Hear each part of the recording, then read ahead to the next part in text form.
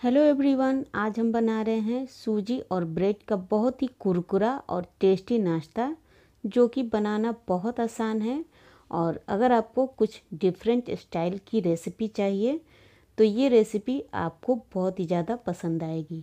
सबसे पहले छोटे साइज़ का ब्रेड लिया है मैंने, चार पीस इसको हम तोड़ करके जार में डाल देंगे और इसको ग्राइंड करके हम इसका क्रम बना लेंगे। ये क्रम हो चुका है, इसको डाल देंगे एक मिक्सिंग बाउल में। इसी में हम डाल देंगे ये आधी कटोरी सूजी। तो ये बारीक वाली सूजी है। इसमें हम डाल देते हैं नमक, स्वाद के अनुसार half teaspoon chilli flakes और एक टीस्पून सफ़ेद तिल। थोड़ा सा हरा धनिया डाल देंगे। एक से डेढ़ चम्मच डाल देंगे कुकिंग ऑयल कुकिंग ऑयल जो है, बिना स्मेल वाली डालिएगा, कोई कड़वा तेल मत डाल दीजिएगा। अब हम इसको मिक्स कर लेंगे, इसका हम क्रम बना लेंगे।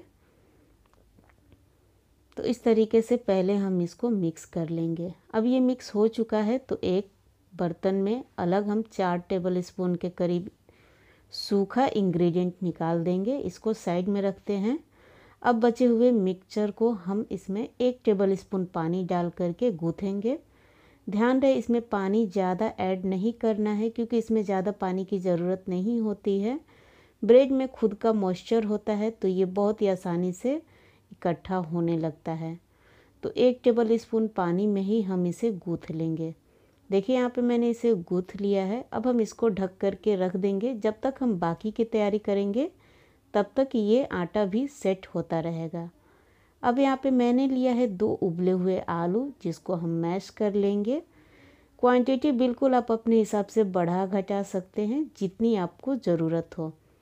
आलू को साइड रख लेंगे। अब यहाँ पे ले लेंगे हम ये ड्राई इंग्रेडिएंट जो हमने पहले ही निकाल करके रख दिया था। दो टेबल स्पून गेहूँ का आटा थोड़ा सा धनिया थोड़ा सा और नमक थोड़ा सा और सफ़ेद तिल डाल करके इसका एक गाढ़ा घोल तैयार कर लेंगे।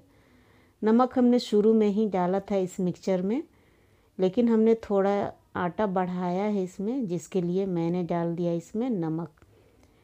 इसको हम गाढ़ा घोल करके तैयार कर लेंगे इस तरीके से। जब तक ये फूलेगा, हम इसको साइड में रखते हैं और कर लेते हैं बाकी के काम। यहाँ पे मैंने आलू ले लिया है, इसी में हम डाल देंगे दो टेबल स्पून बारीक कटा हुआ प्याज, दो टेबल स्पून टमाटर, एक हरी मिर्ची थोड़ा सा हरा धनिया भी डाल देंगे। साथ ही हम इसमें डाल देंगे नमक स्वाद के अनुसार और डाल देंगे चिली फ्लेक्स। ये भी टेस्ट के अकॉर्डिंग ही डालना है। चाट मसाला भी डाल देंगे थोड़ा सा नींबू भी डाल देंगे। नींबू डालने से इसमें बिल्कुल चाट वाली फ्लेवर आ जाती है तो नींबू हो तो ज़रूर डालिएगा। अब हम इसको अच्छे से मिक्स कर लेते हैं। बिल्कुल इसमें चाट वाले, वाली स्मेल आ रही है। तो देखिए यहाँ पे हमारा मिक्सचर बिल्कुल तैयार है। अब हम आटा को चेक कर लेंगे। तो जैसे हमने आटा को गूँथ के रखा था, उसके मुकाबले अभी आटा बहुत ही ज़्यादा सख्त हो गया है। क्योंकि हमने इसमें सूजी का यूज़ किया है तो सूजी मॉइस्चर को अब्जॉर्ब कर लेता है। थोड़ा सा पानी का छीटा मारेंगे और इसको मुलायम कर लेंगे इस तरीके से गूँथते हुए। और इस तरीके से गूँथेंगे तो आटा भी सॉफ्ट हो जाएगा। देखिए, ये सॉफ्ट हो गया है। आधा चम्मच इसमें तेल लगा लेते हैं, जिससे ये और भी ज़्यादा चिकना हो जाएगा और एक बार अच्छे से मिक्स भी कर लेंगे।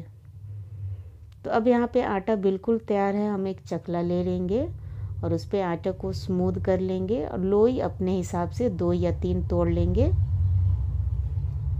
लोई को सूखे आटा में डस्ट करके हम इसको बेलेंगे।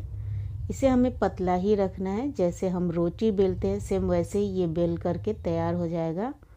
अब हम इसको स्क्वायर शेप में कट कर लेंगे। जो भी आड़ा तिरछा इसका कटिंग है, इसको काट करके हम स्क्वायर शेप कर लेंगे।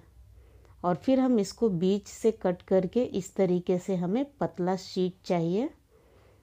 अब हम ले लेंगे आलू का स्टफिंग और इसको रखेंगे एक साइड पे। आधा बचाएँगे हिस्सा और आधे हिस्से पे आलू को रख देंगे इस तरीके से। स्टफिंग हम देख कर ही रखेंगे क्योंकि हमें इसे सील भी करना है।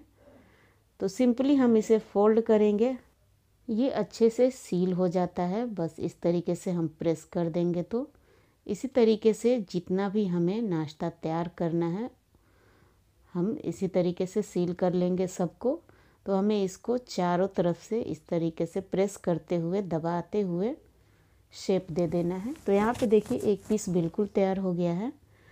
दूसरा भी हम सेम तरीके से तैयार कर लेंगे।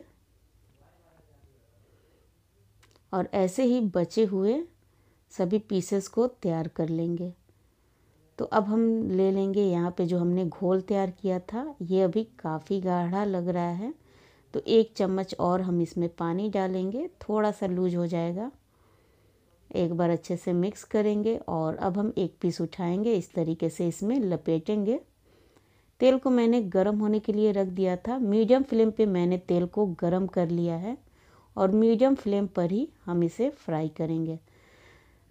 अगर अभी तक आपने मेरे चैनल को सब्सक्राइब नहीं किया है तो चैनल को सब्सक्राइब कर लीजिए। बेल आइकन को ऑल पे भी कर लीजिएगा।